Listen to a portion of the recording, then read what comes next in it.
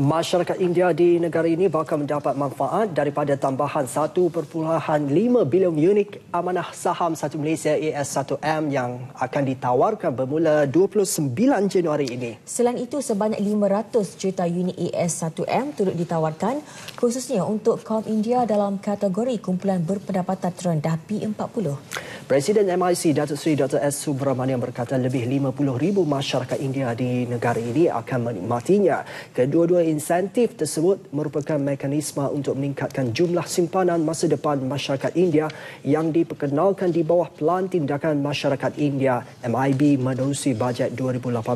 Bagi kumpulan B40, kerajaan menawarkan pinjaman serendah RM5,000 bagi mereka yang berminat membeli unit amanah saham tersebut.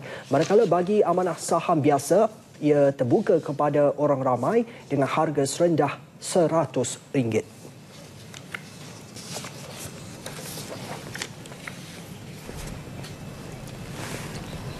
Saya berharap masyarakat India boleh mengambil peluang ini dan uh, meningkatkan pendapatan mereka melalui pelaburan dan uh, mewujudkan budaya penjimatan uh, untuk jangka masa yang panjang.